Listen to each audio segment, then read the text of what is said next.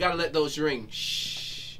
And then and then don't play. It's still ringing. So I choose to live on the brighter side. In spike. Uh, rim shot. Boom. Yo, what's good, people? This is Mali Music here. We're here at Westlake Studios, Studio D, actually, where Michael Jackson recorded a lot of his music.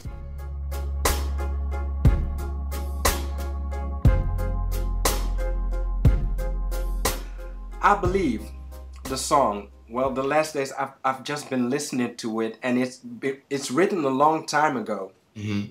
Um, where did that come from? The song. It was it was one of the first times that I wanted to be able to use my music to be able to say something that was very clear and direct. But I didn't originally write it for me. I was in Dallas um, many years back, and I was in the um, studio writing some music for an artist named Crystal Aikin. She was, I think, she was like one of the first Sunday best, you know, winners and stuff like that.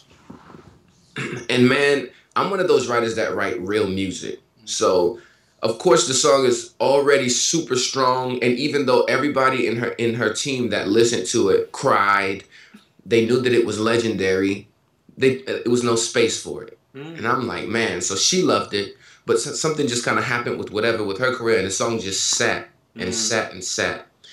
And we got um so years go by, and we're uh face to face with Mark Pitts and ByStorm and he's trying to find out what this Mali music guy's about, and he hears this. He's kind of nervous about the gospel twinge or whatever, but we played a song called I Believe.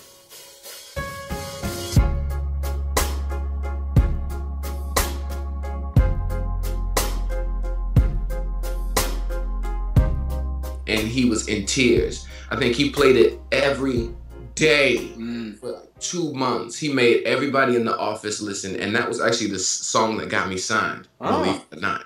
So it was him that's like, uh uh I believe it's going on this album.